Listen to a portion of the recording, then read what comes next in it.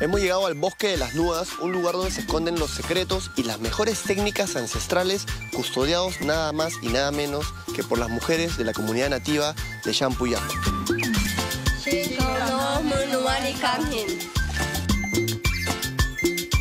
La comunidad Champuyacu pertenece a la cultura Wajún y son las mujeres de esta sociedad quienes conocen los caminos y virtudes de este bosque ubicado a 5 minutos del centro poblado Naranjillo.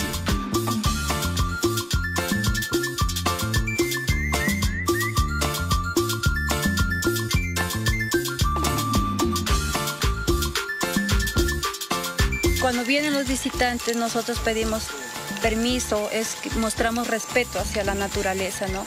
Abrazamos cinco o tres segundos y pensamos en todo lo negativo que nos pasa durante el viaje o el estrés que tenemos y pedimos que nos, eh, que nos deje dejar todo lo malo acá y pasemos purificados al bosque.